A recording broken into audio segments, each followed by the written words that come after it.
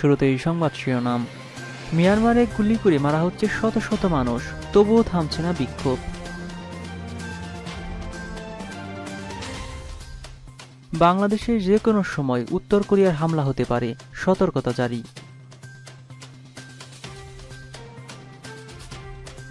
সীমান্তে মনোবল হারানো সেনাদের নারীর সঙ্গের ব্যবস্থা করছে চীন।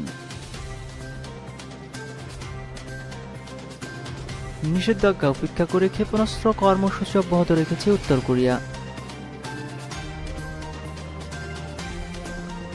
এবং সবশেষ থাকছে, উত্তর কোরিয়ার পারমাণবিক অস্ত্রের অর্থ যুগাতে তিন কোটি ডলার চুরি করল আমেরিকার কাছ থেকে।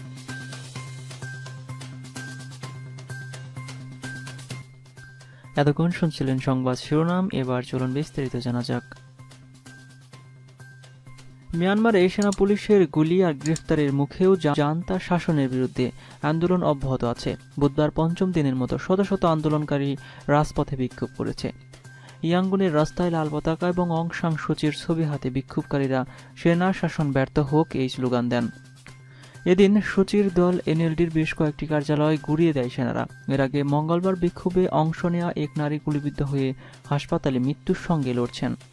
নেপিদু এবং ইয়াঙ্গুন সহ বিভিন্ন রাজ্যে সেনা শাসন বিরোধী বিক্ষোভ হয়েছে। কয়েকটি নগরীতে অধিবাসীরা নিজেদের বাড়িতে থেকেও রাতেও বিক্ষোভ করেছে। মঙ্গলবার রাতে ইয়াঙ্গনের প্রথম বড় ধরনের প্রতিবাদ হয়। বিক্ষোভকারীরা অমঙ্গল দূর হবে স্লোগান দিয়ে রীতি অনুযায়ী হাড়ি পাতিল বাজিয়ে বিক্ষোভ করেছেন। স্বাস্থ্যকর্মী, শিক্ষক এবং সরকারি চাকরিজীবীরা রাস্তায় নেমে বিক্ষোভ করেছেন। একে ফেব্রুয়ারি মিয়ানমারে সামরিক অভ্যুত্থান হয়। এর মাধ্যমে সচিন নির্বাচিত এনএলডি সরকারকে ক্ষমতাচ্যুত করা হয়। একই দিন মিয়ানমারের সামরিক জান্তা দেশটিতে এক বছরের জন্য জরুরি অবস্থা জারি স্থানের নিন্দা জানিয়েছে বিশ্ব। জাতিসংঘের নিরাপত্তা পরিষদ, অংশাং সূচির সহ অন্য বন্দীদের মুক্তি দেওয়ার আহ্বান জানিয়েছে। মিয়ানমারে অবরোধ আরোপের চিন্তা করছে যুক্তরাষ্ট্র।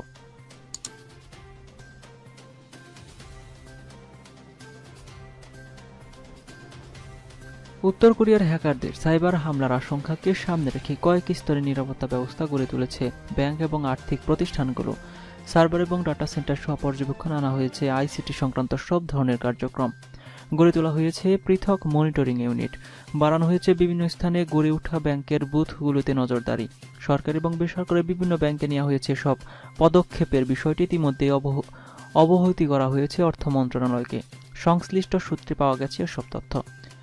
এর আগে উত্তর কোরিয়ার হ্যাকারদের সাইবার হামলার প্রতিরোধমূলক ব্যবস্থা গ্রহণ করতে কেন্দ্রীয় ব্যাংকে সতর্ক করে চিঠি দিয়েছিল অর্থ মন্ত্রণালয়। ওই চিঠি আলোকে প্রয়োজনীয় ব্যবস্থা নেওয়ার জন্য বিভিন্ন ব্যাংকের নির্দেশনা ব্যবস্থা নেওয়ার জন্য বিভিন্ন ব্যাংকের নির্দেশনা দিয়ে চিঠি দিয়েছে কেন্দ্রীয় ব্যাংক। আর্থিক প্রতিষ্ঠান বিভাগের এক ঊর্ধ্বতন কর্মকর্তা জানান, উত্তর কোরিয়ার হ্যাকাররা বাংলাদেশের ব্যাংকগুলো সাইবার হ্যাক করার চেষ্টা করছে। গোয়েন্দা সংস্থার এমন একটি রিপোর্টের পরিপ্রেক্ষিতে তাৎক্ষণিকভাবে বাংলাদেশ ব্যাংকে সতর্ক করে দেওয়া হয়। বাংলাদেশ ব্যাংকের পক্ষ থেকে রাষ্ট্রায়ত্ত বাণিজ্যিক এবং বিশ্বসায়িত সব সরকারি বেসরকারি ব্যাংক এবং আর্থিক প্রতিষ্ঠানকে সতর্ক করা হয়েছে। তিনি আরও জানান, এরই মধ্যে বিভিন্ন ব্যাংক নিজস্বভাবে সাইবার নিরাপত্তা ব্যবস্থা জোরদার করছে।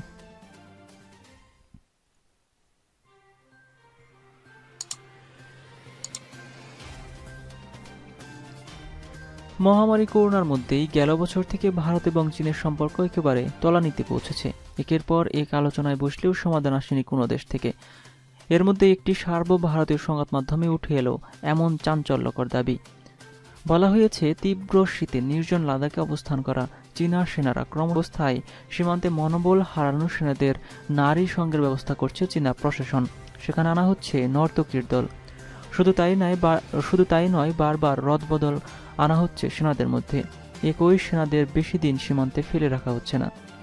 এর আগে ভারতের একজন সিনিয়র কেন্দ্রীয় মন্ত্রী দাবি করেছেন, চীনের চেয়ে ভারত অন্তত পাঁচ গুণ বেশিরভাগ সীমান্ত টপকে তাদের দেশের ভেতরে ঢুকেছে। এ মন্তব্যের প্রতিক্রিয়ায় চীনা পররাষ্ট্র মন্ত্রণালয় বলেছে, ভারত যে ক্রমাগত সীমান্ত টপকে চীনের ভূখণ্ডের ভিতরে ঢুকে থাকে, এটা আসলে অজান্তে তারই একটা স্বীকারোক্তি। ভারতে এ ধরনের আচরণের ফলে সীমান্তে উত্তেজনা সৃষ্টি হচ্ছে বলেও চীন পাল্টা অভিযোগ করেছে। আর চীন ভারত সম্পর্কের দিকে যে পর্যবেক্ষকরা নজর রাখেন তারা বলেছেন, সীমান্তে উত্তেজনা নিরসনের জন্য দুদেশের সামরিক এবং কূটনৈতিক স্তরের আলোচনার যে বিশেষ লাভ হচ্ছে না, এই কথাবার্তাতেই তারই প্রমাণ।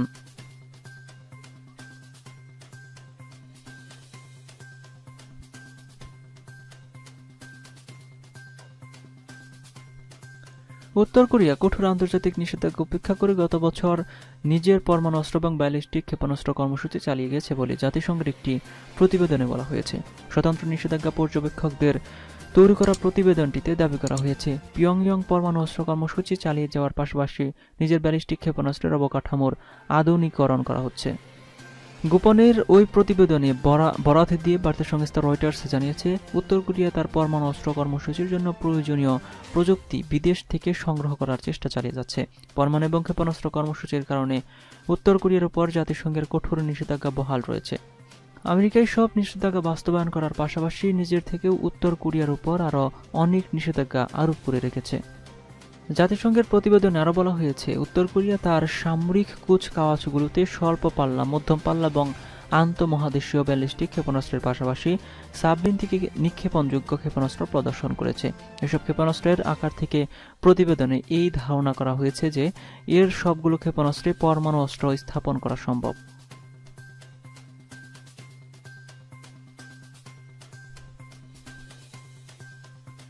উত্তর কোরিয়ার হ্যাকাররা প্রায় দুই বছরে বিভিন্ন দেশ থেকে তিন কোটি ডলারেরও বেশি চুরি করেছে। জাতিসংঘের এক গোপনীয় বৈঠকে উঠে এসেছে এই খবর। বলা হয়েছে, অর্থনীতি সচল রাখতে এবং পারমাণবিক অস্ত্রের অর্থ যোগাতে ভার্চুয়াল কারেন্সি এক্সচেঞ্জ হাউসে অভিযান চালিয়েছে দেশটির হ্যাকাররা। ওই পরিমাণ অর্থ আত্মসাত করেছে তারা। গোপন সেই প্রতিবেদনের সূত্রে সিএনএন দাবি করে, উত্তর কোরীয় হ্যাকাররা দুই হাজার উনিশ থেকে দুই হাজার বিশ সালের নভেম্বর পর্যন্ত চুরি করেছে অন্তত তিনশো ষোলো দশমিক চার মিলিয়ন ডলারের ভার্চুয়াল সম্পদ।